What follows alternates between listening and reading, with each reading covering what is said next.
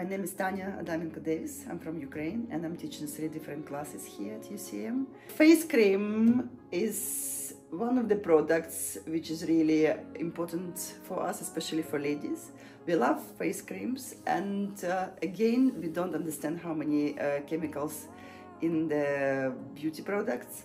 To avoid them, uh, we make our cream using natural ingredients like uh, oils, essential oils, aloe vera gel, beeswax as emulsifier. People more and more aware these days about chemicals in the beauty products and people more and more uh, show interest to these workshops because they think about healthy living, healthy style.